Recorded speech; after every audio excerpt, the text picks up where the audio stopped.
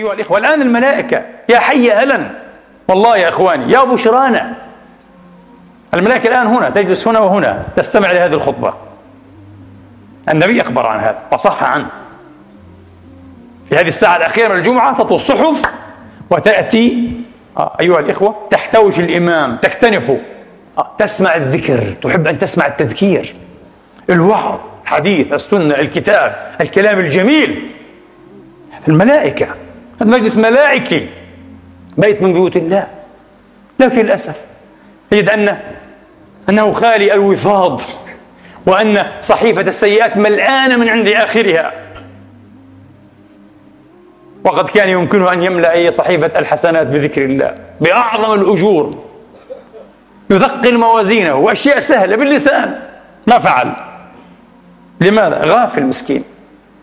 سفه نفسه سفه نفسه. لذلك ذكر الله ذكر الله على الدوام. ذكر الله يصقل القلب تقول قلبي فيه قسوة. نعم. قلبي صدع. لحقه الصدع تآكل تخرب. مرآته لا تعكس شيئا لا ترى شيئا. عمياء سوداء. تريد أن تصقله؟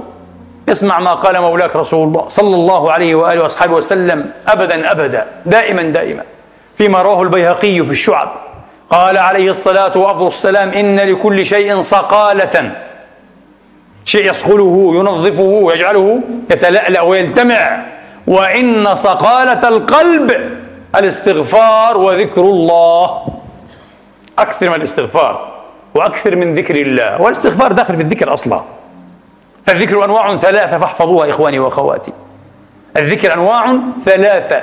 ذكر ثناء وذكر دعاء وذكر رعاية. ذكر ثناء مثل سبحان الله الحمد لله لا إله إلا الله الله أكبر. قال أبو حامد الغزالي قدس الله سره وجمعنا به في دار التهاني. اللهم آمين. حبيب قلوب الصالحين هذا الرجل الصالح. اقرأوا إحياءه واقرأوا كتبه المباركة. على الزمان مباركة. رضوان الله تعالى عليه. قال أبو حامد رؤيت إحداهن في النوم. بعد وفاتها. فقيل ما فعل الله بك؟ قالت غفر لي بأربع كلمات. ذكر ثناء. بقولي كانت هذه دائما تلهج ديدنها وهجراها هذه الكلمات الأربع. لا إله إلا الله أخلو بها وحدي. لا إله إلا الله أفني بها عمري. لا إله إلا الله أدخل بها قبري. لا إله إلا الله ألقى بها ربي. تقبلها الله بأحسن قبول وغفر لها.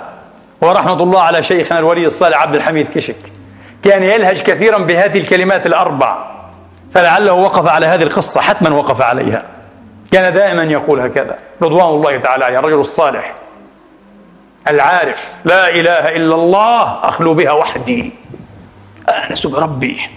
لا إله إلا الله أفني بها عمري. ما أبركه من إفناء.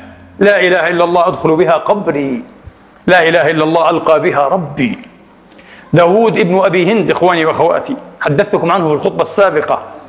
وقد صام أربعين سنة لا يعلم به أهله. أليس كذلك هذا؟ داود ابن أبي هند أحد تلاميذ سعيد بن المسيب يقول أصابني الطاعون وأنا صغير. مرض الطاعون؟ يقتل. معظم من يصيبهم ويكرثهم. قال فأغمي عليه. فرأيت الروح رأت وهو في الإغماء. فرأيت وكأن آتيين أتياني فغمز أحدهما علوة لساني أعلى لساني. أعلى شيء في اللسان. آه. في سقف الحلق. علوة لساني. وغمز الآخر أخمص قدمي. يقال أخمص وأخمص. أخمص قدمي. أسفله. هذه الفجوة التي لا تلامس الأرض. اسمها الأخمص. أخمص قدمي. وقال ما تجد؟ قال كنت صغيرا. لم آخذ القرآن بعده. يتحفظ بعض السور القصار لكن لم يحفظ القرآن. قال أجد تسبيحا وتكبيرا وتهليلا وشيئا من قرآن وشيئا من خطو إلى المسجد. قال طفل مبارك يذكر الله هذا. تعلم يذكر التسبيح والتهليل والتكبير. وبروح على المساجد مرات ومرات يقرأ بعض السور قال فاستفقت ولم أكن قد أخذت القرآن بعد. فعافاني الله فأخذته. أدرك وهو صغير بلطف الله به. أن للذكر والقرآن بركة خاصة يا إخواني. طبعا بركة خاصة تعصم العبد. قال أنس بن مالك صاحب رسول الله رضي الله تعالى عنه وصلى الله على رسول الله وآله وأصحابه أجمعين. وعلينا وعليكم والمسلمين والمسلمات معهم أجمعين بفضله ومنه. قال ذكر الله علامة الإيمان. وبراءة من النار وحصن من الشيطان حصين. الله أكبر. ثلاثة. ذكر الله علامة الإيمان وبراءة من النار وحصن من الشيطان حصين. حصن حصين بإذن الله تعالى. ذكر الله أيها الإخوة سلاح العارفين. به يضربون وبه يصولون وبه يجولون. بذكر الله لا إله إلا هو. والله حين كنت الآن في بلاد الشيشان بارك الله وحفظها على أهلها وحفظ بها الإسلام والمسلمين. شيء عجيب. حدثوني عن بلاد الأنغوش أنغوشيا. وهذه البلاد غزاها الشيخ المجاهد العالم الفاضل الشيخ شامل يسمونه إمام شامل قدس الله سره شامل النقشبندي. الرجل العارف الصوفي العالم المجاهد شامل النقشبندي. غزاها غير غزوة ليفتحها فأعياه أمرها وتأبى أهلها على الإسلام.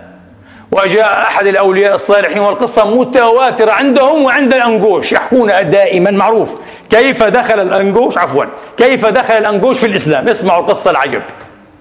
بالجهاد لم يفلح الشيخ شامل ولا من معه. والشيخ شامل هو الذي كسر شوكة الروس بجهاده العظيم المبارك. معروف. شامل نقشبندي. رضوان الله عليه. جاء الحاج كنت قدس الله سره وكان على الطريقة القادرية.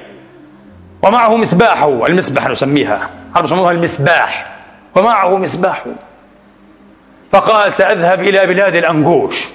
لماذا يا شيخ؟ لكي يذبحوك؟ قال لا لأدخلهم في دين الله. قالوا بماذا؟ قال بذكر الله. ادخلهم بقوة الله بذكر الله بهذه. قالوا يا شيخ اتق الله في نفسك. اتق الله في نفسك ومن معك. الشيخ شامل عجز عنهم. قال أنا ذاهب إليهم وأخذ معه فقط اصطحب رجلا واحدا من أصحابه إخوانه ومريديه في الله.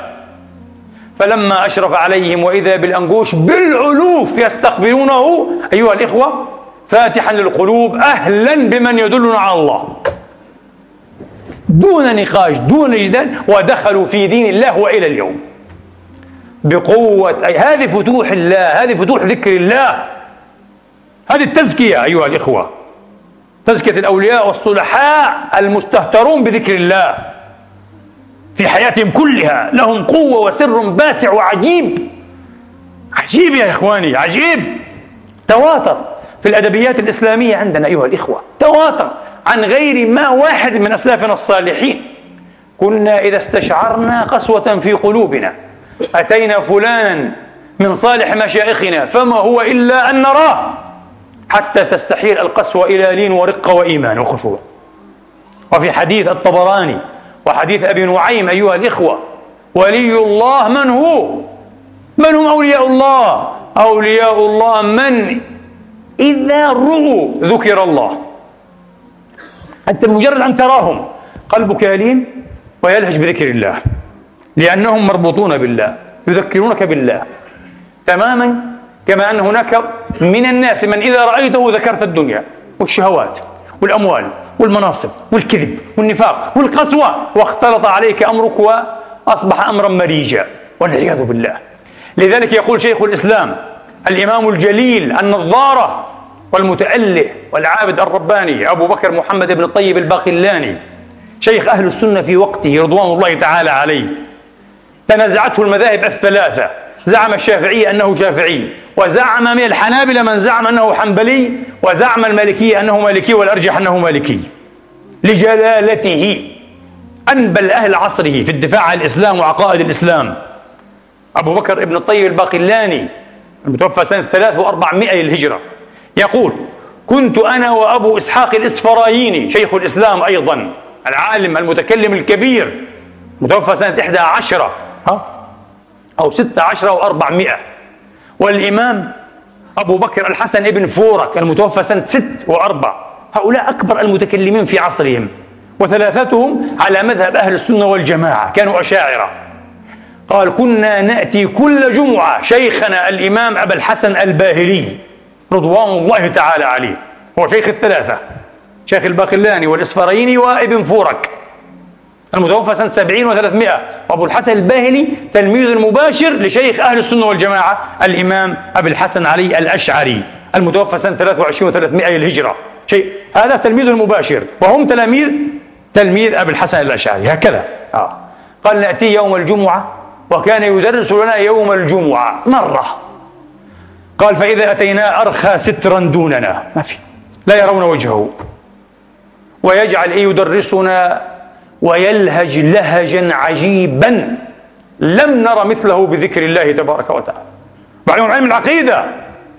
علم العقيدة مقدمات العقيدة. جليل الكلام ودقيق الكلام. الممكن والجائز والمستحيل ولغيره ولنفسه إلى آخره. كلام معقد أشبه بالفلسفة. هذا دقيق الكلام طبيعيات الكلام. ويلهج بذكر الله لهجا عجيبا. قال فلا يعرف مقدار درسنا حتى نذكره. نقول له يا شيخ انتهينا اليوم. نحن بدأنا كذا ننتهي عن كذا. لا يعرف لا يعرف ماذا يقول. مستهتر. يتكلم جملة ثم يعود إلى ذكر الله ومحجوب عنهم بالستار. قال وسألناه مرة يا شيخنا يا أبا الحسن يا إمام الأمة يا إمام المسلمين لما هذا الستر بيننا وبينك؟ قالوا وكان يحتجب من جاريته حتى الجارية يرخي سترا. آه. على نفسه دونها.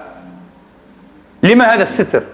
فقال رضوان الله عليه لأنكم تمشون بالأسواق وترون السوق من الناس وهم أهل غفلة. فلا تنظروا إلي بالعين التي ترون بها أهل الغفلة. يؤثر على قلبي قال على حالتي مع الله. الله أكبر يا أخي. ما هذا؟ ما هذا؟ وكيف ترى ليلى بعين؟ ترى بها غيرها وما طهرتها بالمدامع. وتلتذ منها بالحديث وقد جرى حديث غيرها في خروق المسامع. وكيف ترى ليلى بليلى؟ وكيف ترى ليلى بعين ترى بها غيرها وما طهرتها بالمدامع؟ إذا كان هذا الدمع يجري صبابة على غير ليلى فهو دمع مضيع. وتلتذ منها بالحديث وقد جرى حديث غيرها في خروق المسامع لا يستوي قال لا يتأتى إما إما الاعتقاد فلسفة المسلمين. لكن انظروا إلى اللهج بذكر الله تبارك وتعالى. إلى اللهج بذكر الله. إخواني وأخواتي إخواني وأحبابي في الله. ليس المهم أن نعلم شيئا عن الله. كلنا يعلم الكثير والقليل عن الله. أن الله موجود وأنه حي عالم حكيم قدير رحيم حليم غفور إلى آخره. ليس هذا ليس هذا المهم. لا والله ليس هذا هو المهم إنما المهم أن نجد الله أن نشعر بالله هل نشعر به؟ هل نجد لا إله إلا هو؟ هل نحن في حالة كأننا نراه لا إله إلا هو؟ كأننا نراه أن تعبد الله كأنك تراه فإن لم تكن تراه فلا أقل من أن إيه؟ توقن وتسلك وتتصرف على أنه يراك يراك مقام المشاهدة وهذا مقام المراقبة. تعلم أنك مرقوب أنك بعين منه لا إله إلا هو بمرقب منه لا إله إلا هو. هذا هو. ابن عمر يقول لأحد الزبيريين جاءه يخطب إليه ابنته وهو يطوف بالكعبة أفي مثل هذه الساعة؟ ونحن نتراءى ربنا. قال قطعت علي عبادة وطوافي جاي تخطب ابنتي؟ ونحن نتراءى ربنا. ابن عمر انظروا إلى عبادة الصحابة. ليست عبادة شخشقات وكلام ومظاهر وطقوس لا. عبادة الربانيين العارفين المكشوف عنهم المرفوع عنهم الحجاب أيها الإخوة. ونحن نتراءى ربنا أن تجد الله هذا هو المهم. وكما في الصحيحين أيها الإخوة يقول المولى تبارك وتعالى وهو أثر إلهي قدسي رباني جليل أنا عند ظن عبدي بي. وأنا معه إذا ذكرني. الله أكبر. هل تشعر أنه معك؟ اجلس واذكره. هل تشعر أنه فعلا معك؟ إن لم تشعر. إذا أنت في البداية كمل. ولا يقطع عنك هذا. انتبه. يأتيك الشيطان يقول لك لا أنت محجوب. أنت جاف غليظ قاس. لست هناك. اترك هذا لغيرك. وخذ في الدنيا وشأنها. لا. قيل لولي الله أبي عثمان الحيري. قيل له يا أبا عثمان. نذكر الله تبارك وتعالى بألسنتنا ولا نجد حلاوة في قلوبنا. قال هنيئا لكم أما يكفيكم أن الله زين جارحة من جوارحكم بذكره؟ كويس قال أحسن من لا شيء. خلي اللسان يذكر. بعدين يأتي إن شاء الله يوم القلب بإذن الله تعالى. الآن تبدأ باللسان والقلب لا ساهن يأتيه يوم إن شاء الله يستيقظ من غفلته من نومته أليس كذلك؟ لكن إن لم يتحرك اللسان لم يتحرك القلب بالحري بالحري لم يتحرك. أكيد. شوف الفقه لذلك قال ابن عطاء الله السكندري في الحكم العطائية قدس الله سره. ها. لا يصرفنك عن ذكره. عدم حضور قلبك معه عند ذكره. فإن فإن غيبتك أو قال غفلتك عن ذكره أشد من غفلتك في وجود ذكره. من أعظم. إنسان يذكر ولا يد الله. أو إنسان لا يذكر. من أعظم جرما. لا إنسان لا يذكر. والعياذ بالله هذا مش همه من الأصل. لا أذكر. أذكر حتى وإن لم تجد. لكن إن شاء الله ستجده. قال يا ابن آدم اطلبني تجدني. فإن وجدتني وجدت كل شيء وأنا خير لك من كل شيء. اطلبني تجدني قال. ولذلك في هذا الحديث أيها الإخوة باب القرب إلى الله ما هو؟ واحد يقول أو واحدة أريد أن أتقرب إليه وأزدلف إليه. كيف أصل؟ بالذكر. قال وأنا معه إذا ذكرني. فإن ذكرني في نفسه ذكرته في نفسي وإن ذكرني في ملأ ذكرته في ملأ خير منهم. وإن تقرب إلي ماذا؟ شبرا. تقربت إليه ذراعا. وإن تقرب إلي ذراعا تقربت إليه باعا. وإن أتاني يمشي أتيته هرولا الله أكبر. إذا ما المقدمة؟ الذكر. انتبه. تريد التقرب والدنو والإزدلاف. الذكر. الذكر أعظم باب أنت داخله بالله. فاجعل له الأنفاس حرأسا الذكر أعظم باب أنت داخله بالله. فاجعل له الأنفاس حرأسا إذا المسألة أيها الإخوة أن يسعدنا الله وأن يتفضل علينا بمحض فضله وجوده وكرمه أن نجده لا إله إلا هو. قال إني والإنس والجن. إني والإنس والجن في نبأ عظيم. أخلق ويعبد غيري وأرزق ويشكر سواي. خيري إلى العباد نازل وشرهم إلي صاعد. أتحبب إليهم بالنعم وأنا الغني عنهم. ويتبغضون إلي بالمعاصي وهم أفقر شيء إلي. أهل ذكري أهل مجالستي. أنا جليس من ذكرني. حديث صحيح. تريد أن الله يجالسك؟ مش العالم الفلاني أو الصالح الفلاني الله نفسه يجالسك اذكره لا إله إلا هو.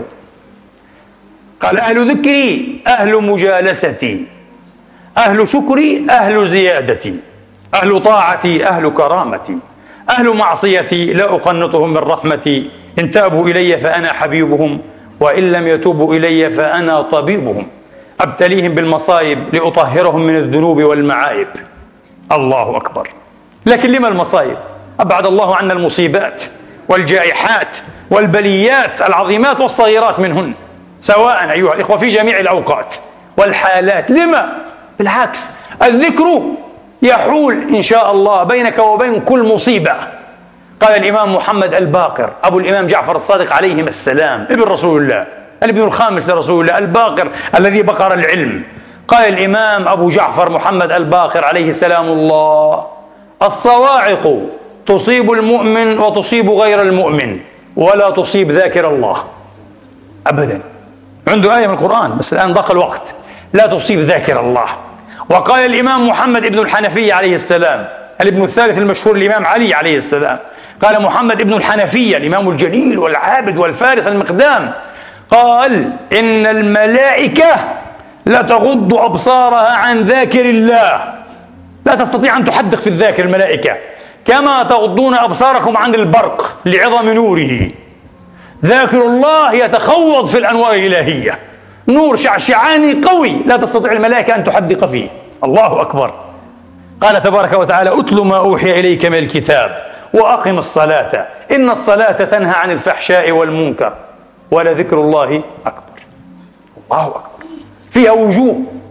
فيها وجوه. ولذكر الله أكبر قيل لأن الصلاة إنما وضعت أصالة وفرضت ليذكر بها الله كما في الحديث المشهور الصلاة موضوعة لأجل ماذا؟ لأجل أن نذكر بها الله لا إله إلا هو كلها ذكر كلها ذكر أه؟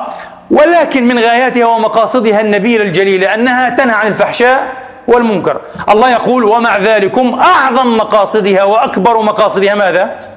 أن الله يذكر فيها قال ذكر الله أكبر هذا وجه ووجه ثاني قيل ولذكر الله أكبر لأن من ذكر الله ذكره الله فاذكروني أذكركم. فاذكروني أذكركم. صحيح؟ إن ذكرني في نفسه ذكرت في نفسي الحديث في الصحيحين. الآن أيهما أعظم؟ ذكر العبد للرب أم ذكر الرب للعبد؟ لا ذكر الله أكبر. أي ذكر الرب لعبده. إذا ذكره عبده على سبيل ماذا؟ المكافأة والثواب والجزاء أعظم. وجه جميل جدا. ووجه ثالث قيل ولذكر الله أكبر والآية في العنكبوت؟ ولذكر الله أكبر؟ قالوا أكبر من كل بلية وأكبر من كل خطية بإذن الله تعالى. نعم. من ابتلي ببلية فليذكر الله تصغر بليته بإذن الله تعالى. يلهمه الله الصبر والسلوان. وأيضا من خاف على نفسه من إيه؟ من خطية من خطيئة معينة من شهوة كذا فليذكر الله كثيرا. إذا تم الذكر محق كل شهوة ومحق كل خطيئة بإذن الله تعالى.